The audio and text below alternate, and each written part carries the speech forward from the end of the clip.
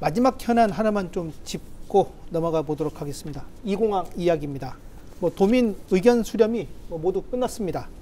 국토부에 이 의견을 이제 전달할 시점이 다가오고 있는데 뭐 6월 한 달간 정리하고 뭐 대략 한 6월 말쯤 되지 않을까 예상되고 있는데 가장 중요한 부분은 이제 과연 이제 제주도가 어떤 입장을 내놓느냐 이 부분입니다.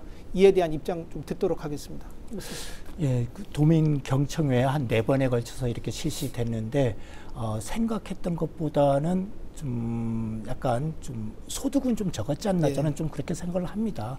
물론 좀 제주도정 입장에서는 어, 의견 수렴 건수 한 1,500건 됐고 또 도민경청에서 많은 이야기가 이렇게 나왔다고 하지만 네. 뭐 제가 볼 때는 이미 기존에 나왔었던 내용 그리고 이번에 그 시민사회단체에서 기본계획안에 대한 그 검증 분석 결과를 이렇게 발표한 내용들인데 그 내용의 범주를 벗어나지는 않았다. 다 그래서 내용은 있거든요.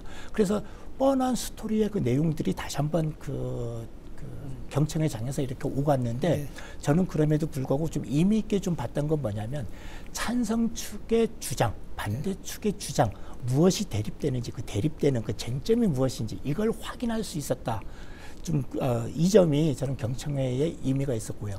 좀 그 점이 확인됐기 때문에 앞으로 그럼 제주도에서 어떤 일을 해야 되는가 어, 도민 의견 재립 저기 어, 제주도 의견 어, 제출하기 전에 어떤 일을 해야 되는가도 약간 좀 그 속에서 약간 유추해 볼 수는 좀 있겠다 생각합니다. 그 쟁점들을 어떻게 그럼 조정해 나갈 것인가, 뭐 쟁점 토론회를 한 번 더 가질 것인가, 아니면 어, 그것 없이 원래 원 저기 제주도지사가 원래 밝혔던 대로 가감 없이 그냥 의견을 그대로 제출할 것인가 좀 이것에 고민이 좀 있, 나- 남아 있다고 봅니다.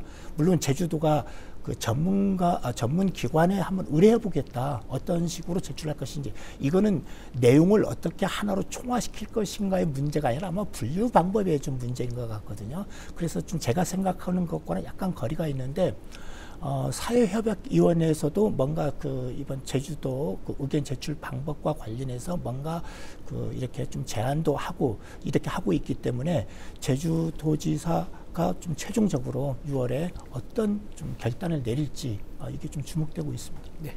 뭐 길고 길었던 제2공항 문제가 이제 한 부분이지만 또 이제 마무리를 향해서 가고 있는데 참 아쉬웠던 부분은 경청회가 과연 필요했었느냐 라는 부분에 대해서는 저는 불필요했다고 봅니다. 왜냐 그러면 그냥 찬반의 의견이 의견을 이제 정확히 보여주긴 했지만 기존에 있던 내용 그대로 올라와 있고 그걸 갖고 오히려 더 갈등을 더 부, 갈등을 또 한 번 확인시켜 주는 그런 과정이었다고 생각을 하고 그리고 지금 뭐 의견이 접수된 게 1,500여 건이 되지만 거의 80% 이상이 찬반.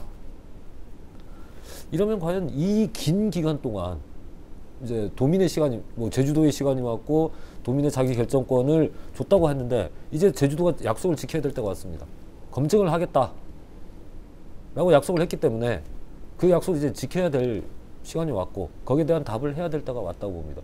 의견을 전달하는 거 그냥 도민의 의견을 전달하는 거 그냥 온라인에는 그냥 줘버리면 돼요.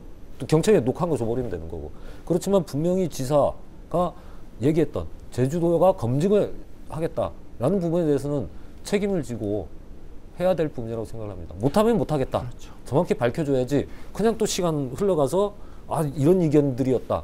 뭐 이제 나오는 얘기가 의견 전달 방식을 고민하고 있다.